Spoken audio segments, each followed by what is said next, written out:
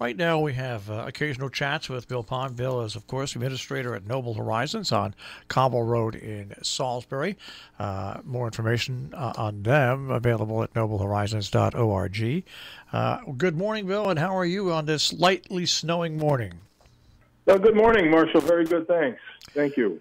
So, uh, we in this country have had good news on the fact that, and also in New York and Connecticut, uh, cases of coronavirus are now starting to drop significantly. Uh, hospital admissions are finally starting to drop significantly, uh, and deaths uh, even starting to drop significantly. Uh, the vaccinations uh, continue to go on. As a matter of fact, this week, I think on Thursday, people 65 and older now will be able to get vaccinated. do you guys feel the the loosening of that noose that has been around you for one solid year? uh, where no mistakes could possibly be allowed to happen. well, that, that's true. I uh, it has been a year, and uh, boy, I'll tell you what, it just it seems like yesterday this whole thing started. A year ago, February is just amazing. Um, you know, I, I think uh, we do a little bit. Um, uh, we, I'm a little hesitant to to say that. I, you know, we we we maintain our guard and. Uh, we continue to do what we've done um, for the past year. But um, with the news in the media um, looking a little bit brighter on a day-to-day basis, um, there's a there's a certain peace of mind. I think that uh, um, if we keep going in this direction, things will begin to clear up. Now, do you, uh, as as as Noble Horizons and and you, with all your residents there, whether they're uh, residents uh, that are in uh, for physical therapy or uh, or, or, or long term residents that live there. Do you try to communicate the, the news like that and the good the good news like that uh, to them, or do you let them kind of uh, take that in themselves from what they gather?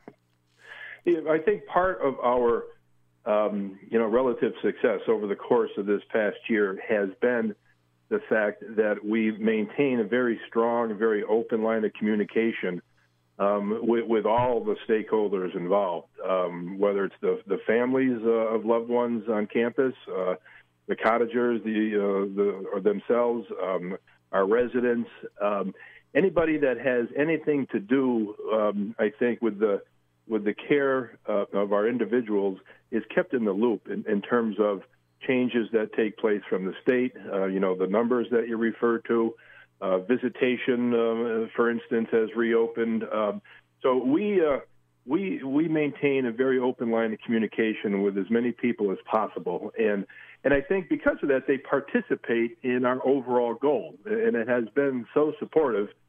Um, you know, the the efforts um, in, general by those who have some sort of an interest in Noble. Um, it's really been one huge team working towards a common goal, and I think in large part because of the open communication. All right, so let's talk about uh, about what's going on at Noble Horizons. Uh, uh, some of the maybe some things that I'm not aware that you want you want to get out to the public, but uh, uh, we are uh, of course in the, what the, I would call the the worst month of winter, which is February, where even though you're close to March and close to starting to climb out of winter it's still a time where where spirits have to be lifted. What's going on at Noble Horizons?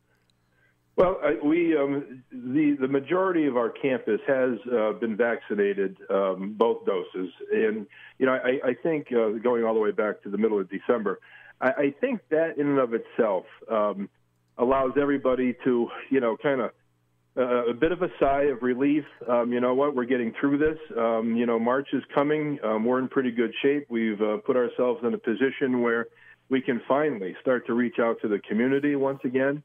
Um, you know, we're happy to say that we are uh, finally admitting people back into um, um, our, our, variety of programs at Noble. And, and, we're doing what uh, what we enjoy doing, providing that care, providing the uh, opportunities for those in need. And at the same time, you have a certain amount of, of accomplishment of having gone through this. You know, I, I, I, I, guess I'll throw this out there. One of the things we, we've we've uh, kind of celebrated in the last week or so, we're one of just three nursing homes in the state of Connecticut, Marshall, that um, never did get the virus. And um, and and, and I must say that um, um, you know the that sense of pride and that sense of accomplishment really um, has carried over into what we do on a day-to-day basis.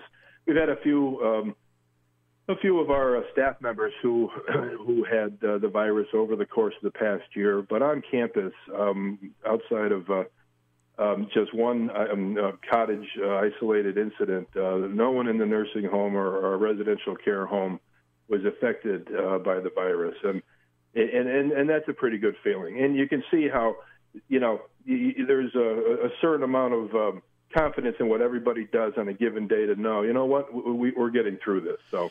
And that's pretty po- that's pretty positive for the group. What, what's positive about that is that uh, once again, all the protocols, obviously, that you put into effect, uh, kept it out. Uh, and you know, I say this uh, every day when uh, Region One releases uh, notes about people that have COVID, and, and, and they keep the public actually over-informed, but you know, they were when all these meetings were going on over the past summer with all these administrators, and I'm sure it was the same at nursing homes, but in the school district, and all these protocols were set up. Well, it is pretty obvious to me that the protocols that were set up at Region 1 is something that Region 1 has something to be very proud of because they've managed to keep a cap on everything and keep schools operating. And yeah, you should be as as Noble Horizons as as a community that that really is even more susceptible uh, to come through it absolutely uh, unscathed and uh, and and no outbreaks. I think that's a that's you know once it's all over and you can have a party. I think that's worth a party in itself, Bill.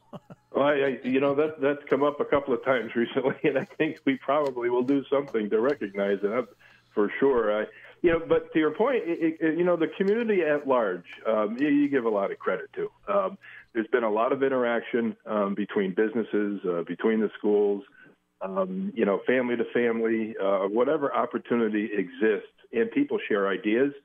Uh, people share successes, um, uh, discuss uh, what didn't work, um, you know, the way that one would hope to.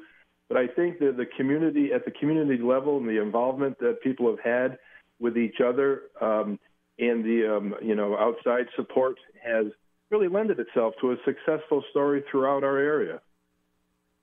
Well, just talking to you this morning, and uh, and I know how uh, I follow this. I, I, I give updates uh, uh twice a day on uh, COVID nineteen throughout our tri-state region, and uh, I've seen ups and downs. But over the past week, I genuinely see numbers going down. And when I hear you talk about the fact that by uh, now you have 100% of residents uh, vaccinated, uh, that you made it through, uh, especially having a few uh, work members that you obviously caught through screening and everything like that. so there was no, you know, there was no way that it came in. Those are things that really do make a, a cold, snowy February morning a little brighter. The, the fact that, you know, maybe I'm wrong, but to me it feels like we are finally, finally, finally getting on the other side of this. You really get that sense. And, um, you know, I certainly uh, support that uh, view that you have, and I, I believe it as well. Um, and, uh, you know, we'll, we'll continue to uh, to move forward as a as a group, as a community, um, you know, as a as a healthcare provider, and uh, and, and and to reassure those that um, you know we um, look out for what matters most, and um, you know everybody that we care for has a loved one somewhere, and that's important to us, and it's a very extensive line. Um, you know, of relationships and so on, and we're we're just really really proud to uh, have uh, have the opportunity to do what we do, um, Marshall. Thank you. You know what you might want to do there, Bill, is, is put together a booklet because, of course, throughout this country, uh, one of the main problems was were homes, congregate living facilities, uh, senior communities uh, that were living together. Uh, it doesn't matter what state you were in. Uh, really, uh, that's where most of the problems were. You might be able to make a handbook that, in the future, can be used, and utilized not only from the state but also in other states to see how a situation like yours doesn't have to lead to a lot of COVID deaths where you've actually kept it where it is. I, I'm serious about that. You might you might want to hand that instruction manual uh, to the state and say uh, pass it out. well, it's not a bad idea. We we've been uh, I think we've been pretty diligent writing down what I what we've uh, you know through our course uh, navigating this thing, but uh, that's probably a good idea. Who knows? Maybe uh, maybe we will.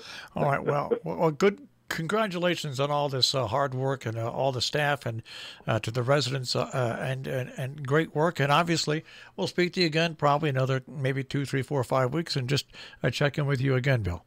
Well, when the sun's out and it's about 75 degrees, absolutely. All right. Sounds well, great. Take care. Take care. Thanks, Marshall. Bye bye.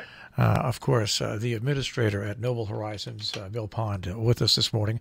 Uh, more information at noblehorizons.org.